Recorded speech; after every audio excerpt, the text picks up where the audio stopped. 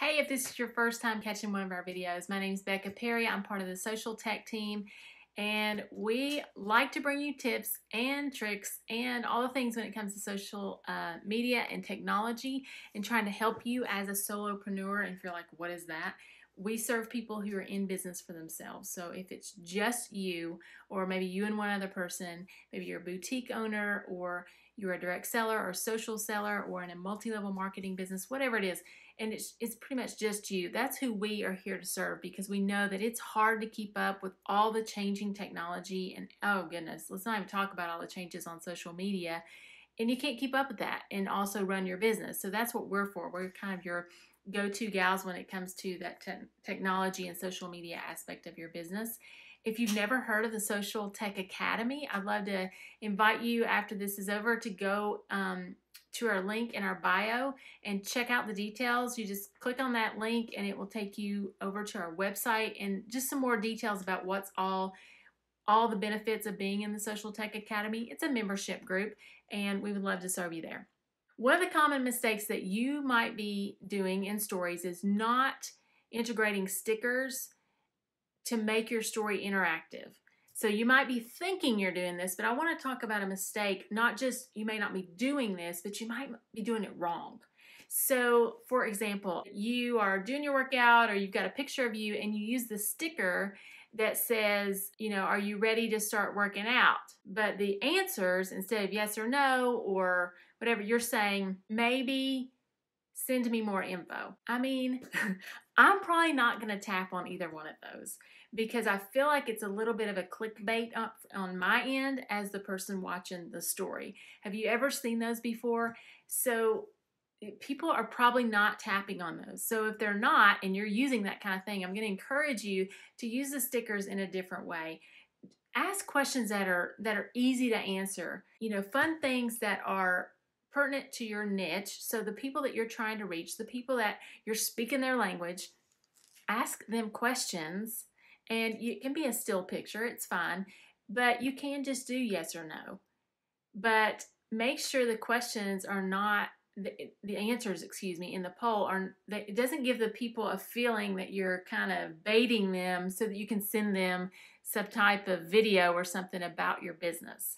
Now, I'm not saying people are never going to want that, but I'm saying when you're using the stickers, let's make it fun. The point of the stickers is to make it interactive and fun. All right. So make sure you're using those stickers in the right way, but definitely use them um, not on every single um, story, but almost on a daily basis, you want to be using some interactive stickers. And I'm not just talking about the poll. Um, use the question sticker. A, a, very common thing I'm seeing right now is ask me anything or ask me um, anything related to, and you fill in the blank. So if you're um, maybe if you're in the fashion industry, jewelry or something like that, you might say, ask me your questions about upcoming trends. What questions do you have about trending fashion? Or now the average person probably doesn't even know what to ask you, right? So, um, you know, you have to word that in such a way that you're actually speaking to the common person in your niche. But use that question sticker. Um, and when you ask a question, you know, ask easy questions because you don't want to ask something where you're asking people to bare their soul. I mean, most people are not going to take the time to type that out. Um, some great questions that you can ask in that poll sticker is, um, you know, tell me something that you don't like that is that would be an unpopular thing. So if you know if the whole big thing is this certain show everybody's watching on Netflix and everybody's talking about it, and you particularly hate that show, um, you can ask, you know, what's an what's an opinion you have that's un, that would be unpopular with the general public. So you get the idea. So use those stickers. Um, I use little stickers. This is not engagement necessarily, but I go out on my porch a lot for my other account and I'll post, you know, the temperature or I'll ask, are you a morning person or a night owl? Things like that, just to try to get to know the audience. All right, let's go. Sorry, I put my glasses on. Let's go to the next one. Another one is that you are not sharing. I'm trying to make myself move, but it's not going to let me. Okay. That you're not um, using video and you're sharing too many still images. Raise your hand if you're guilty. Uh, don't want to put you on the spot, but I want to gently nudge you, strongly encourage you, I should say. This is something that,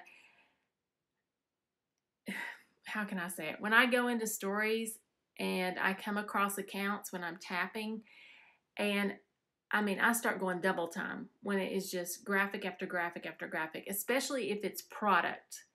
And I'm never hearing their voice, I'm never seeing their face. It is just absolutely one big commercial. That's what it feels like. Now, if you're the person doing that, it may not feel that way to your to you because you're thinking it's such a great deal. I want to let my people know about it. There are many ways to let people know about what's happening in your industry, in your business, if there's a sale or a great promotion and all that kind of stuff.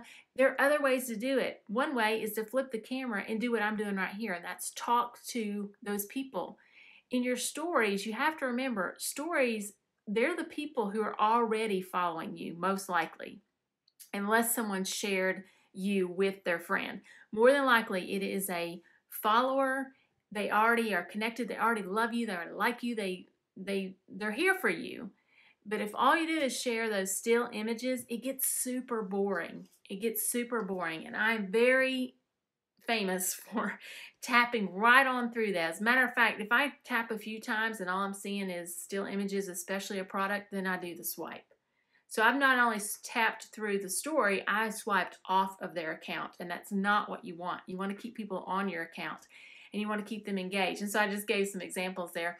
Deb and I try to give out tips. We do things like what we're doing right here, and we also do silly ones. If you're not a silly person, you don't have to dance on Instagram, right? But you can show up and you can talk to people. And if you're thinking, Becca, what would I talk about? The answer is anything and everything. There are no rules, like real hard and fast rules when it comes to stories. You really do need to be showing up um, in video. All right, so let's keep going. Another one is, I see this a lot, and um, there's a couple of things that drives me crazy. One is when people tag other people and put it too close to the edge.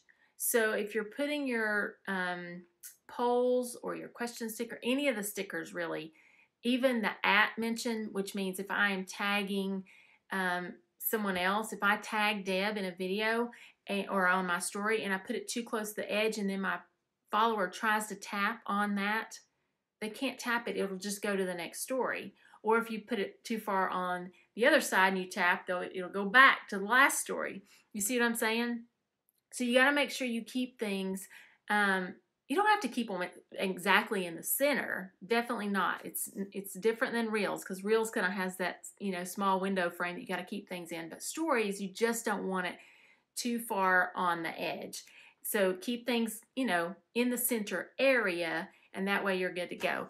Especially if you're using stickers. So if you're at if you're using a poll and you do like that blue screen down there where it shows it off to the right, when people try to tap on it, it's just going to go to the next story and then it's useless. So be sure you're putting the placement of your stickers and your at mentions, if you're putting them on the screen, make sure they're somewhere in that middle area because you do not you do not want that to um, deter people. And honestly, if you've done that several times, people quit looking at your stuff because they're like, that girl, she does not know what she's doing. But we know if you're watching us, you know what you're doing.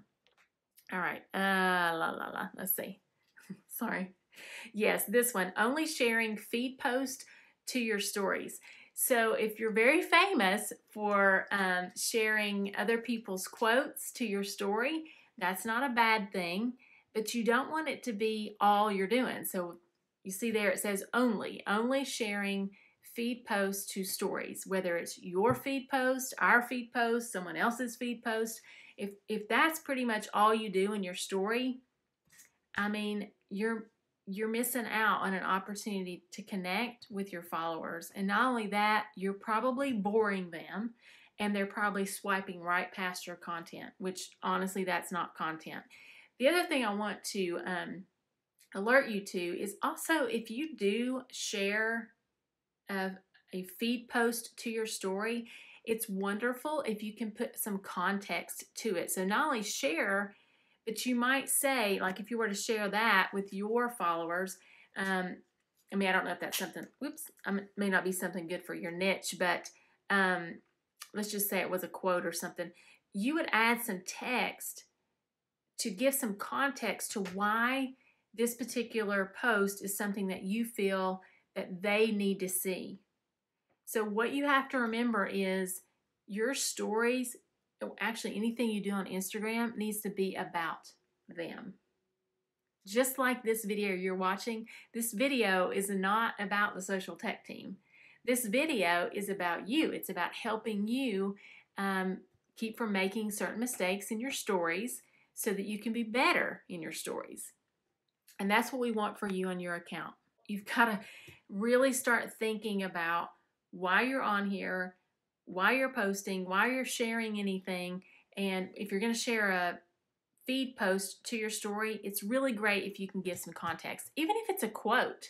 Now, I won't say that we do that every single time, um, but it, it begins to look lazy on our part or your part if we're sharing feed posts to stories with no context, and we do it a lot. That's going to look really, really lazy to our followers, and they're probably just going to keep, you know, swipe on past us. So we don't want to do that. Um, give context. Maybe, you know, say, I love following these girls that always give the greatest tips, or this is one of my favorite quotes. Have you ever read it before? Have you ever seen it before? Have you ever heard it before? That kind of thing. Um, so, those are things to keep in mind. Here's what I'm going to leave you with for today. You hear us say this all the time, and if there was any piece of advice that I could give to you, is um, consistency in your stories is really important because you want your little bubble to keep going to the front of the line there on the top of your followers' um, story feed at the top of their screen, right? And the way to do that is to show up throughout the day. Now, we all, just like us, I don't think we've done that all day long today. And a lot of times we get so busy with our head down trying to get a task done that we don't do that. And some days it's okay. So give yourself some grace, but don't use the excuse that you don't have time because, quite frankly, stories are not meant to be perfected. So, what you want to do is you want to open up your story, flip that camera so it's face to camera, and push the button, share it whatever it is that you want to share. You're not rehearsing, you're not trying to get it perfect. Even if you flub up your words, which I do all the time, then a lot of times I'll be like, you know, and then I just cut it off and then I come right back on. But I go ahead and post it. I don't try to get it perfect and record and re record and re record until it sounds perfect because by the time I've done it three or four times, and I've done that, it sounds too rehearsed. It sounds not real. It doesn't sound like my authentic self. And that's how you want to show up in your stories is just as you are. Um, flaws and all, all, flaws and all, because that's why people like us. That's why people like you. They're like, oh, she's just like me. She messes up her words. She stumbles over her words. She's not perfect. I like her. But if you come across as too perfect and too rehearsed in your stories, over time, people are going to kind of see that and think, mm, you know, I can't relate to that. She's so perfect all the time.